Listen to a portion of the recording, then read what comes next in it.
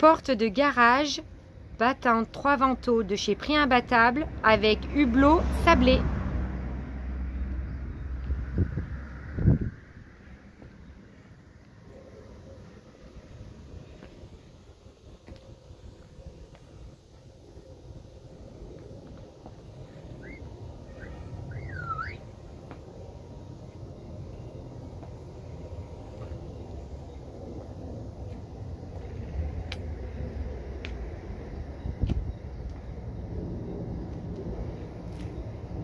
Et voilà.